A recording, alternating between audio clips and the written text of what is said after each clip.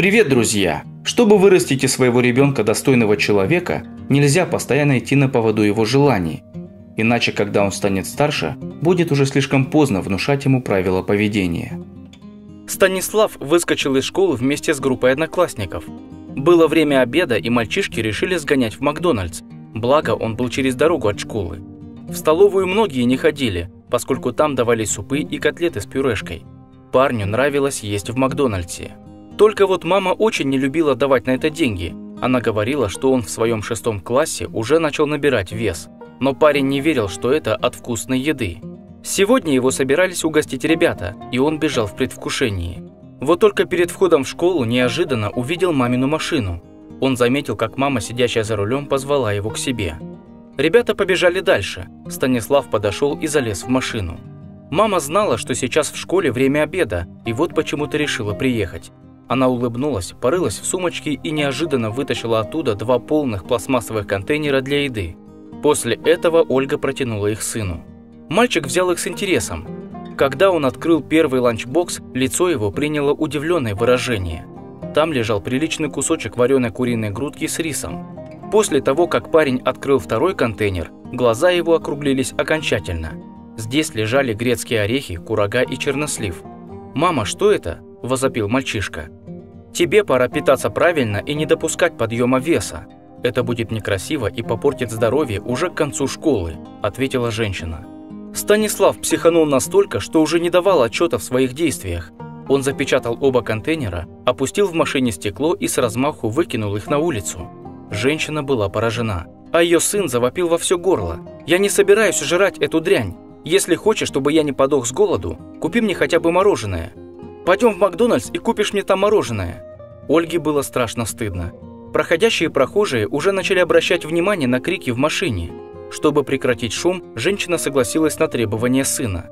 В это время ее взгляд упал на худенькую старушку в старой поношенной одежде, которая с интересом открывала вышвырнутые ее сыном контейнеры с едой. Сначала она понюхала курицу и аккуратно положила пластмассовую посуду с ней в свою сумку. Когда она открыла второй судок, глаза ее радостно блеснули, и старушка тут же съела несколько черносливин.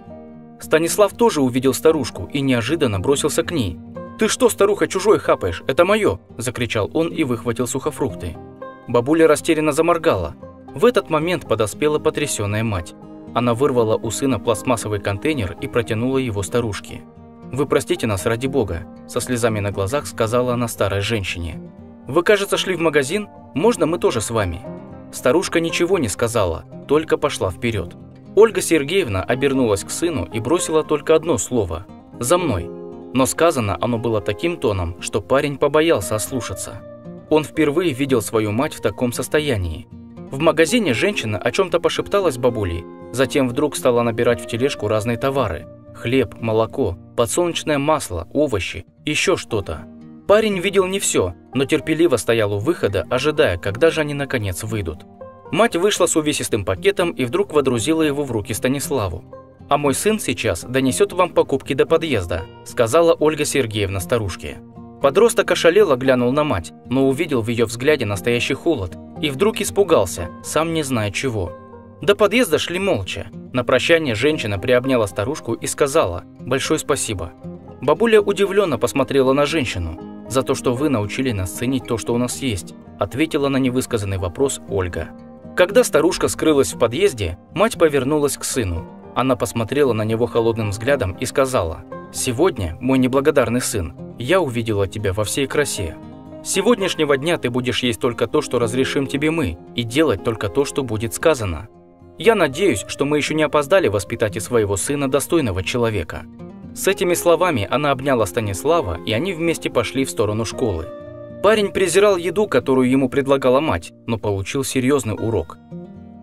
Важно учить своих детей ценить то, что они имеют. Самое важное – давать им не деньги, а воспитывать их примером и прививать правильные человеческие ценности.